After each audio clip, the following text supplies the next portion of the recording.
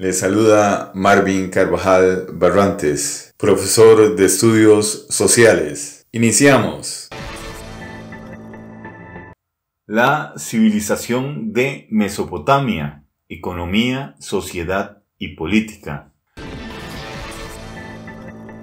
En Mesopotamia, la agricultura de regadío fue posible por el desarrollo de un sistema de canales y diques para encauzar y construir depósitos de agua. Esto posibilitó la recolección de varias cosechas al año, de cebada, legumbres y frutas. Como actividad complementaria, desarrollaron el ganado ovino, las ovejas, y el ganado bovino, los bueyes y las vacas. Las ciudades-estado intercambiaban los excedentes agrícolas y ganaderos, dando origen a un intenso comercio. Gran cantidad de caravanas vinieron de otros lugares para intercambiar los productos agrícolas o artesanales que ellos producían.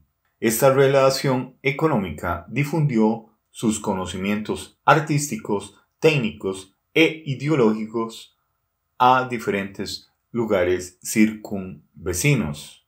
En un principio se practicó el trueque, pero con el tiempo los intercambios fueron mayores y más complicados, por lo que empezaron a utilizar las barras de oro y plata para cambiarlos por distintos productos. La sociedad mesopotámica estaba dividida en clases sociales. En la cúspide en lo más alto se encontraba el rey o monarca, que era la autoridad máxima, un intermediario entre los dioses y el pueblo. Había dos tipos de nobleza, la nobleza cortesana, la familia del monarca, y la nobleza empleada, miembros del ejército y los sacerdotes.